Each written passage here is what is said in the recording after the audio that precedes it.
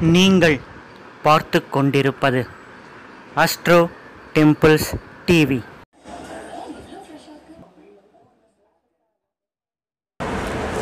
ஓம் காஞ்சிவாசாய வித்மஹி சாந்தரூபாய தீமஹி தன்னோ சந்திரசேகரேந்திர பிரச்சோதயாத்.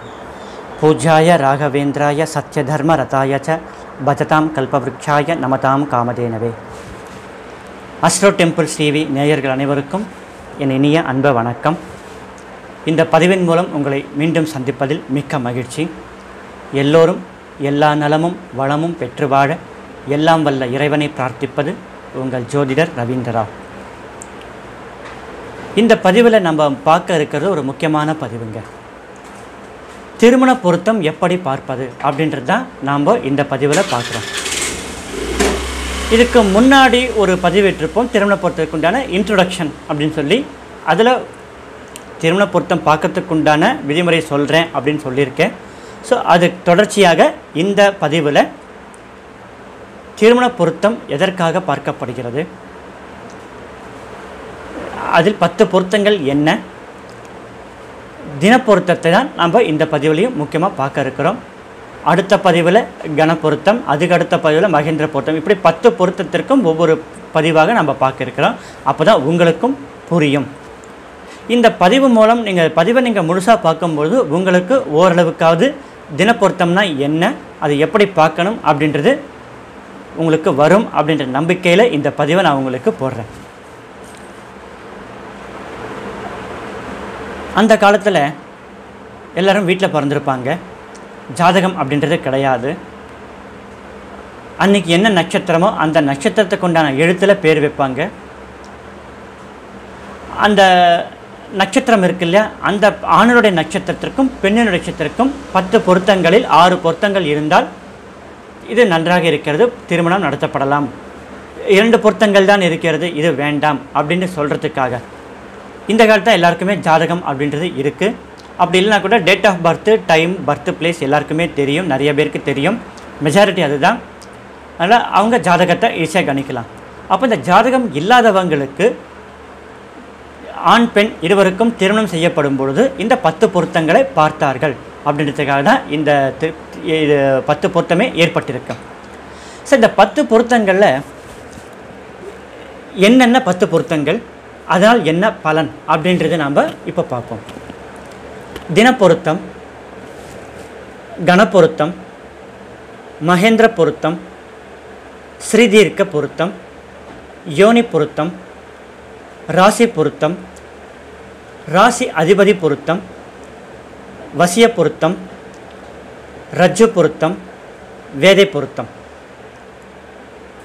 தினம் கணம் மாகேந்திரம் ஸ்ரீதீர்க்கம் யோனி ராசி ராசி அதிபதி வசியம் ரஜ்ஜு வேதை. இந்த பத்தும் பத்து பொருத்தங்கள். இதில் முக்கியமான ஃபஸ்ட்டு இருக்கிறது தினப்பொருத்தம் தினப்பொருத்தத்திற்குண்டான விதிகள் என்ன விதிவிலக்கு என்ன அப்படின்றத நம்ம இந்த பகுதியில் பார்க்க இருக்கிறோம். ஏன்னா இப்போ நாங்கள் வந்து நிறைய அனுபவத்தில் பார்த்துட்ருக்கோம். ஒரு ஆண் வீட்டிலிருந்தோ அல்லது ஒரு பெண் வீட்டிலிருந்தோ ஒரு பெண்ணை பெற்றவர்களோ அல்லது ஒரு பையனை பெற்றவர்களோ ஆப்போசிட் வீட்டுக்கு ஃபோன் பண்ணி எனக்கு ஒரு பையன் இருக்கான் திருமணத்திற்கு அப்படின்னு சொல்லும்போது என்ன நட்சத்திரங்க? அந்த பையனை பெற்றவரும் இந்த நட்சத்திரம் சொல்லும்போது இல்லைங்க எனக்கு இந்த நட்சத்திரம் பொருத்தம் இல்லைன்னு எழுதி கொடுத்துருக்காங்க எனக்கு ஜாதகம் வேண்டாம் அப்படின்னு அந்த சமயத்தில் அதோட கட் ஆகிடுது ஸோ இதுக்கு தான் இந்த பதிவை நம்ம முக்கியமாக போட இருக்க காரணமே இதுக்காக தான். தினப்பொருத்தம் இருந்தாலும் இல்லாவிட்டாலும் திருமணம் நடத்தலாமா வேண்டாமா அப்படின்னு சொல்கிறதுக்கு தான் இந்த பதிவு. ஸோ இந்த பதிவை நீங்கள் முழுசாக பாருங்கள் சப்ஸ்கிரைப் பண்ணுங்கள் சேனலை இந்த வீடியோவை லைக் லைக் பண்ணுங்கள் ஷேர் பண்ணுங்கள் அப்படின்னு கேட்டுட்டு இப்போ பதிவுக்குள்ளே நம்ம வர இருக்கிறோம். தினப்பொருத்தம் மூலம் என்ன பலன் அப்படின்னு கேட்டிங்கன்னா நமக்கு லக்ஷ்மி கடாட்சம் கிடைக்குமா அதிர்ஷ்டம் கிடைக்குமா அப்படின்றதுக்காக தான் தினப்பொருத்தம் பார்க்க இருக்கிறோம். அப்போ இது முக்கியமான பொருத்தமாகத்தான் கருதப்படுகிறது. சரிங்களா? இப்போ இந்த தினப்பொருத்தம் பார்க்கும்போது எப்படி பார்க்கணும் அப்படின்றது ஒன்று இருக்குது இதுக்கு நமக்கு முக்கியமாக தெரிய வேண்டியது இருபத்தேழு நட்சத்திரங்களின் பெயர்கள் என்ன? அஸ்வினி முதல் ரேவதி வரை உள்ள இருபத்தேழு நட்சத்திரங்கள் பெயர் நமக்கு நிச்சயம் தெரிஞ்சிருக்கணும். சரிங்களா?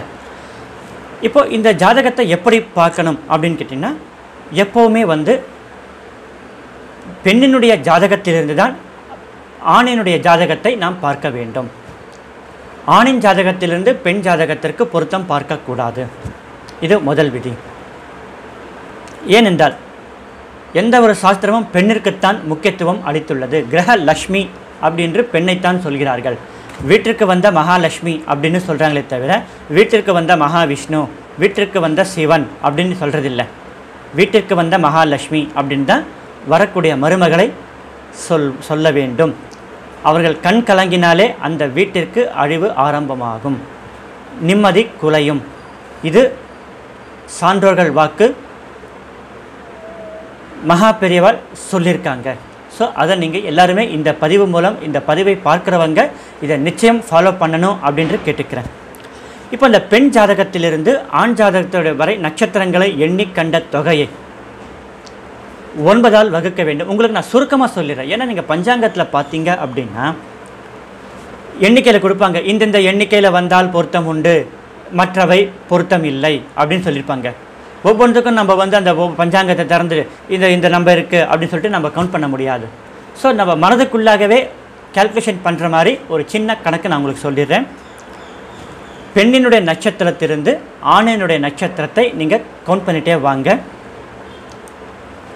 ஒவ்வொரு ஒவ்வொரு விரலாக யூஸ் பண்ண வேண்டாம்.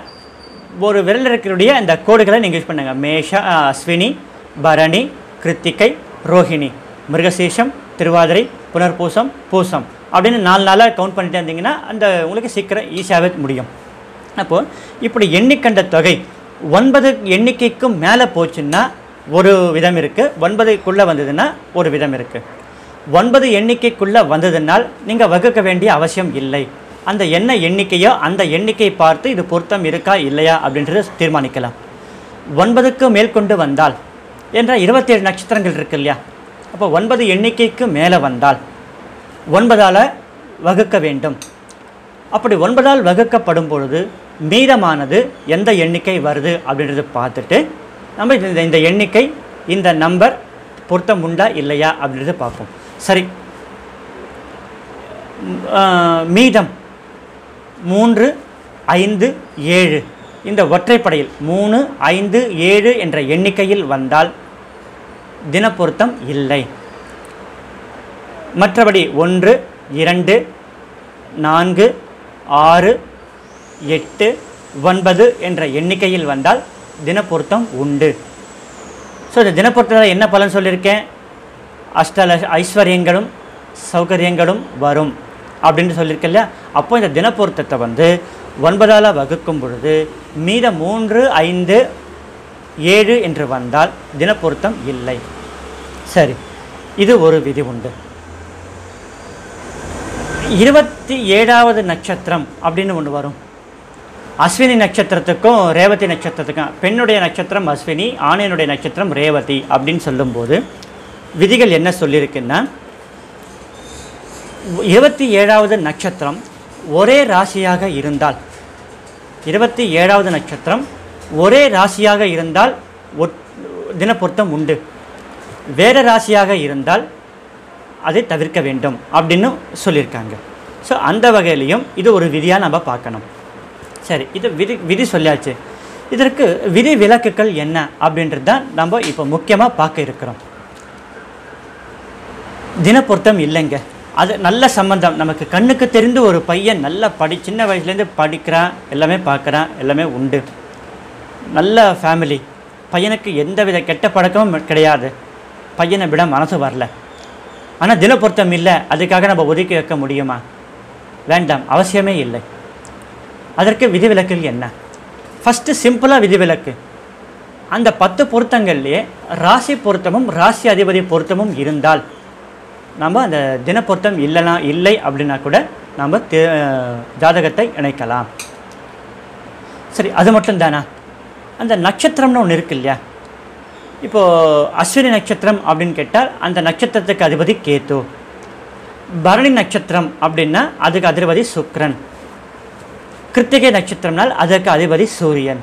இப்போ அந்த நட்சத்திர அதிபதிகள் பெண்ணினுடைய நட்சத்திர அதிபதியும் ஆணினுடைய நட்சத்திர அதிபதியும் நட்பாக இருந்தால். சரிங்களா? ரெண்டு பேருடைய ந- நட்சத்திரம் அதிபதியும் நட்பாக இருந்தால் நம்ம அதை தினப்பொருத்தம் பார்க்க தேவையில்லை. தினப்பொருத்தம் இல்லை என்றாலும் நம்ம ஜாதகத்தை இணைக்கலாம். அப்போ நம்ம என்ன பார்த்தோம்?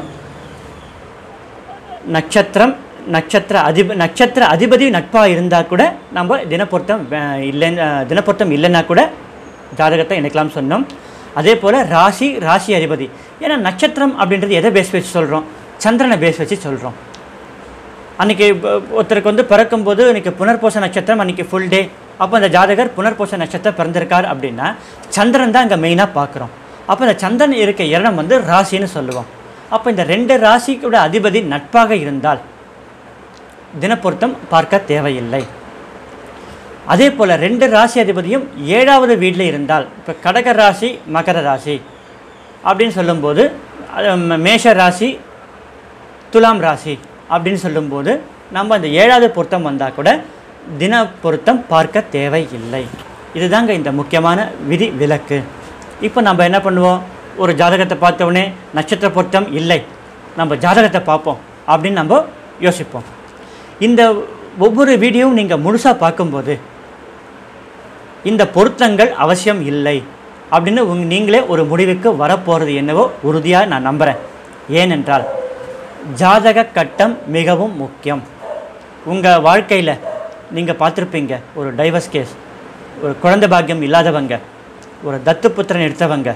அப்போ இவங்களுக்கு எல்லாமே இந்த பத்து பொருத்தங்கள் இத்தனை பொருத்தம் இருக்குது ஆனால் நமக்கு எங்களுக்கு இந்த அவங்களுடைய ஒவ்வொருத்தருக்கும் ஒரு விதிப்பயன் அப்படின்றது உண்டு. அது வேறு. அதை வந்து இறைவனை தவிர வேறு யாராலும் நிர்ணயிக்க முடியாது. தீர்மானிக்கவும் முடியாது. மாற்றவும் முடியாது. எல்லாத்துக்கும் அந்த இறைவன் ஒருவர்தான் மூலம்.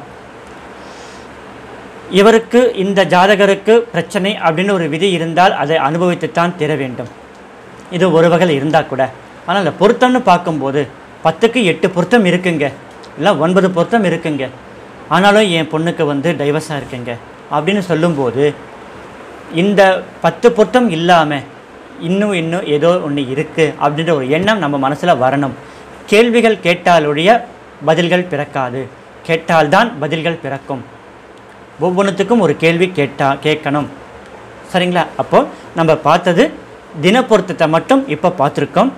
அடுத்த பதிவில் கணப்பொருத்தம் என்றால் என்ன? அந்த கணப்பொருத்தம் ஏன் பார்க்கணும்? கணப்பொருத்தத்திற்குண்டான விதிவிலக்குகள் என்ன? அப்படின்றது நம்ம அடுத்த பதிவில் பார்க்கோம். நன்றி வணக்கம்.